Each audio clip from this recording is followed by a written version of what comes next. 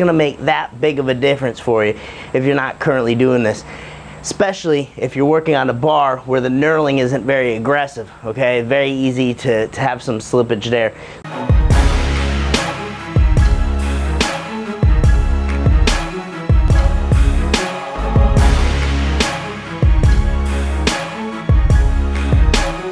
Hey guys, Coach Ben here, BigBenches.com. And I'm gonna show you how to set a tight hand position in the bench press. Uh, the key here to setting a tight hand position is you can't just go and grab the bar.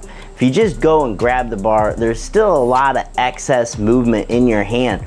Think of your hand as there's a lot of, um, you know, you got your muscle, your tendons, you got um, the skin too. Everything's moving around. Everything can shift. So if you look at my forearm here, you know, just me circulating around, I'm moving a lot of tissue. You know, see my skin moving around, the muscles underneath, not as much, but I'm definitely pulling slack out of them. And what I'm looking to do when I'm setting my hand position to the bar, that's my connecting piece.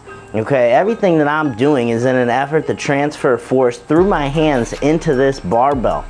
So, when we're grabbing the bar, we need a really tight hand position. We need to make sure that nothing's gonna slip. All right, there's no excess movement in the tissue. Everything needs to be nice and tight. Okay, so what I just showed you here, we need to make sure that we take the slack out, right? You can see if I just pull straight down, this tissue is now tight as I'm cranking down on it. Okay, and the same kind of thing applies to our hand. That's why I like to get a good hand position over the top and then I like to crank down on the bar. I'm gonna show you exactly what that looks like. All right, so you can see that I chalked up my hands. I wanna make sure that I have zero slipping.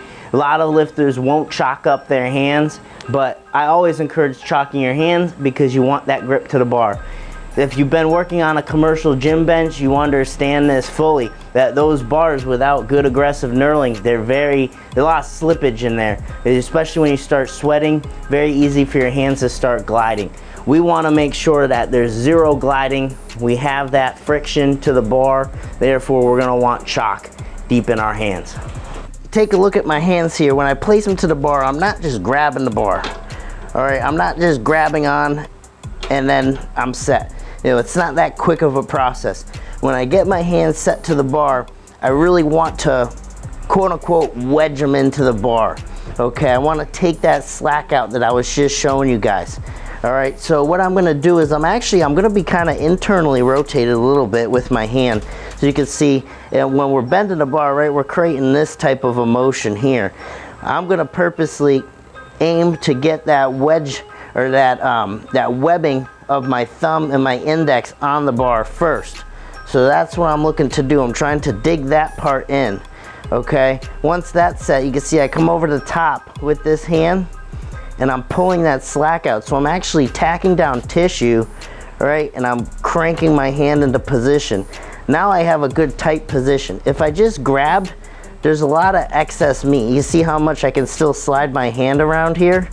Right? I wanna make sure I take that sliding ability out. So I crank in here, set that tight, I crank down on that tissue, I grab the bar and I spread. I'm trying to pull my hand out, okay? And that's gonna set a nice tight hand position, right? My hand's not gonna go anywhere. So there's no excess movement now. I'm very tight to the bar. You see the chalk helps with that grip, it's already gone, all right? So that's how you're gonna set a tight hand position to the barbell. It's gonna make that big of a difference for you if you're not currently doing this. Especially if you're working on a bar where the knurling isn't very aggressive, okay? Very easy to, to have some slippage there. So we wanna make sure we chalk up, we take the slack out of our hands, we dig into position. It's not as simple as just grabbing the bar. All right, guys, Coach Ben here. You know where to find me you can meet me on a bench. Thanks for watching. Make sure you subscribe to the channel over here. Check out the links in the description box below. You can see a video related on this topic right here and then our latest video right there. Thanks for watching.